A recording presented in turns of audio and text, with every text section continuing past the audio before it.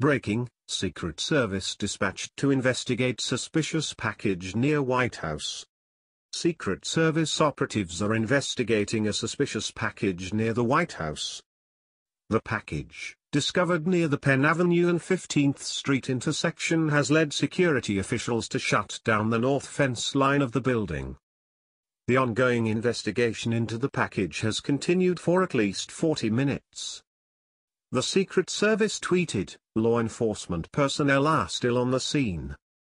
Investigation into suspicious package near Penn and 15th continues. The Washington, D.C. Police's bomb disposal team are also responding to the incident.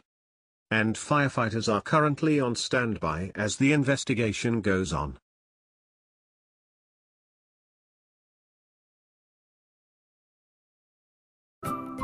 Thank you for watching. Please subscribe to us on YouTube. If you like donate to us visit home on the page PayPal.